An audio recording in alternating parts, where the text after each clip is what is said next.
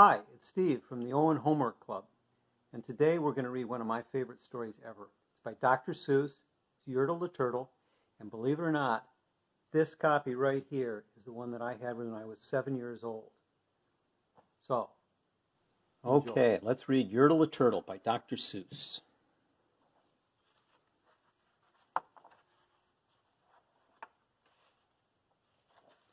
Yertle the Turtle. On the faraway island of Sala-ma-Sond, Yertle the Turtle was king of the pond. Nice little pond. It was clean, it was neat. The water was warm, there was plenty to eat. The turtles had everything turtles might need. They were all happy, quite happy indeed. They were, until Yertle, the king of them all, decided the kingdom he ruled was too small. I'm ruler, said Yertle, of all that I see, but I don't see enough. That's the trouble with me. With this stone for a throne I look down on my pond, but I cannot look down on the places beyond. This throne that I sit on is too, too low down. It ought to be higher, he said with a frown. If I could sit high, how much greater I'd be. What a king! I'd be ruler of all I could see. So Yertle the Turtle King lifted his hand, and Yertle the Turtle King gave a command. He ordered nine turtles to swim to his throne and using these turtles he built a new throne. He made each turtle sit on one another's back, and he piled them all up in a nine turtle stack. Then Yertle climbed up, he sat down on the pile. What a wonderful view! He could see most a mile. All mine, Yertle cried, all the things I need rule. I'm king of a cow, I'm king of a mule, I'm king of a house. What's more beyond that, I'm king of a blueberry bush and a cat. I'm Yertle the Turtle, O marvelous me! I am the ruler of all that I see. All through that morning he sat there up high, saying over and over, A great king am I, until long about noon, then he heard a faint sigh. What's that? snapped the king, and he looked down the stack, and he saw at the bottom a turtle named Mac. Just part of his throne, and this plain little turtle looked up and he said, Beg your pardon, King Yertle, I've pains in my back and my shoulders and knees. How long must we stand here, your majesty, please?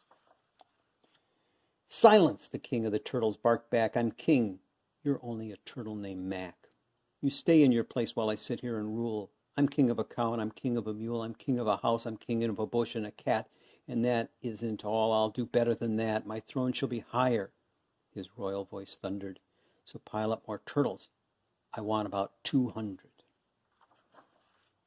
Turtles, more turtles, he bellowed and brayed, and the turtles way down in the pond were afraid. They trembled, they shook, but they came, they obeyed. From all over the pond they came swimming by dozens, whole families of turtles with uncles and cousins. And all of them stepped up on the head of poor Mac. One after another, they climbed up the stack. Then Yertle the Turtle was perched up so high he could see forty miles from his throne in the sky.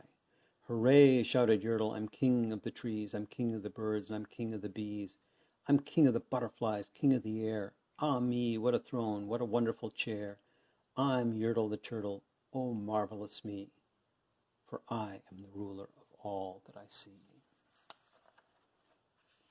And then again, from below, in the great heavy stack, came a groan from that plain little turtle named Mac. Your Majesty, please, I don't like to complain, but down here below we are feeling great pain. I know up on top you're seeing great sights, but down at the bottom we too should have rights. We turtles can't stand it. Our shells will all crack. Besides, we need food. We're starving, groaned Mac. You hush up your mouth, howled the mighty King Yertle. You've no right to talk to the world's highest turtle. I rule from the clouds o'er land or sea. There's nothing, no nothing, that's higher than me. But while he was shouting, he saw with surprise that the moon of the evening was starting to rise, up over his head in the darkening skies. What's that? snorted Yertle. Say, what is that thing that dares to be higher than Yertle the king? I shall not allow it. I shall go higher still. I'll build my throne higher.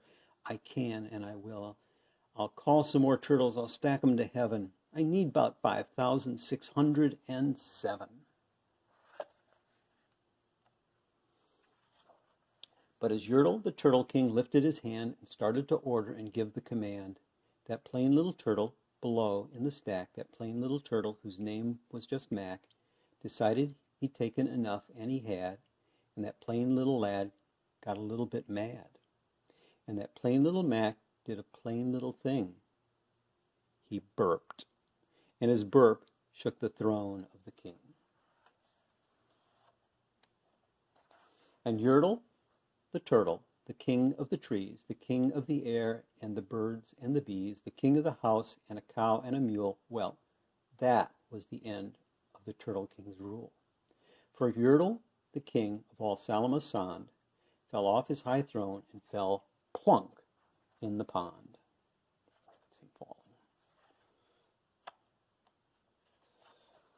And today the great Yertle, that marvelous he, is king of the mud that's all he can see. And the turtles, of course, all the turtles are free, as turtles, and maybe all creatures should be. That's it. That's turtle, the Turtle.